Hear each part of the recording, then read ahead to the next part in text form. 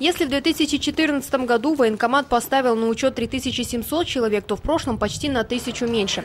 Из них почти 40% студенты высших учебных заведений получили отсрочку. Этот показатель выше прошлогодних. Значит, все больше парней хотят получить высшее образование.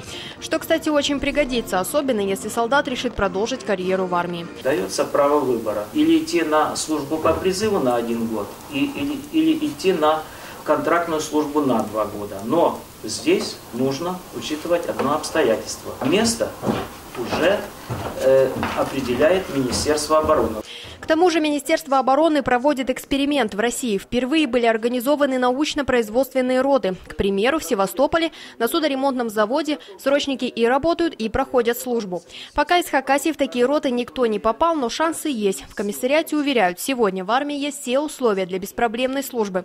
Ну а тем, кто отлынивает от нее, грозит административная и даже уголовная ответственность. Таких преступных прецедентов в республике пока не было, но штрафники все же есть. По результатам призыва осень 2014 года, то есть год назад, были направлены в следственные органы материалы в отношении 26 человек.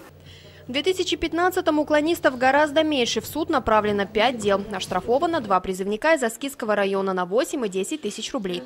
Те же, кто не испугался армии, пополнили в основном ряды сухопутных войск. На втором месте воздушно-космические, на последнем месте ВДВ. Всего 6%.